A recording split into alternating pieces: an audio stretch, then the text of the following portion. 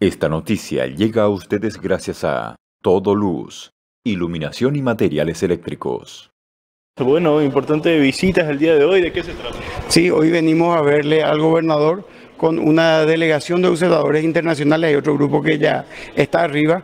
Ellos estuvieron participando en los comicios que se llevaron a cabo el día domingo en la Argentina eh, vienen de dos, son dos delegaciones, una de Guatemala, otra de República Dominicana. Eh, ayer nos estaban transmitiendo su experiencia y queremos también ver la forma que jóvenes encarnacenos se sumen a este tipo de iniciativas y viajen a otros países, ¿verdad? También como observadores porque es una experiencia bastante rica y también ellos contribuyen, ¿verdad?, en la transparencia de los comicios.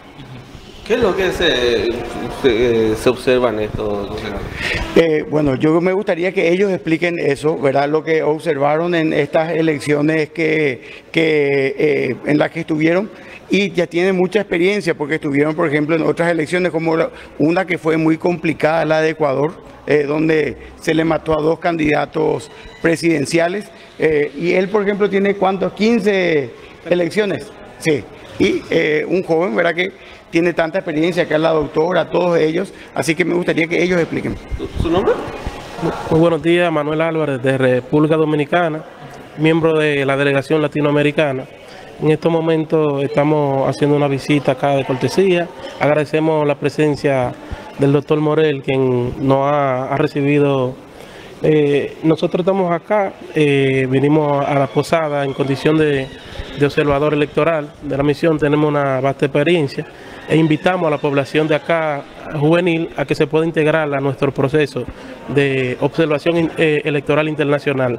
Ahora mismo estamos encargados responsablemente de lo que es la MOE y eso nosotros lo que queremos es la integración, eso tanto social, pueden participar de, distintos eh, géneros y también edades y se pueden integrar con nosotros.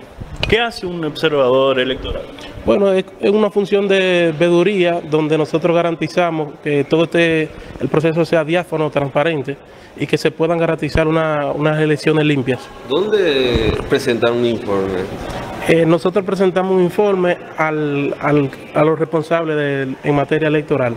La organización que representa la observación, la misión, presenta un informe y da, y da su eh, indicaciones y lo que pudieron observar dentro del proceso electoral. ¿Cómo vio la elección acá en Argentina Un proceso diáfano, tranquilo, transparente e innovador. Eh, alguna diferencia con otros países de la región, de manera que nos sentimos contentos de que jóvenes puedan participar de, distintos lugares y, y, el mundo. ¿Cómo fue que pasaron la encarnación que, que están haciendo acá?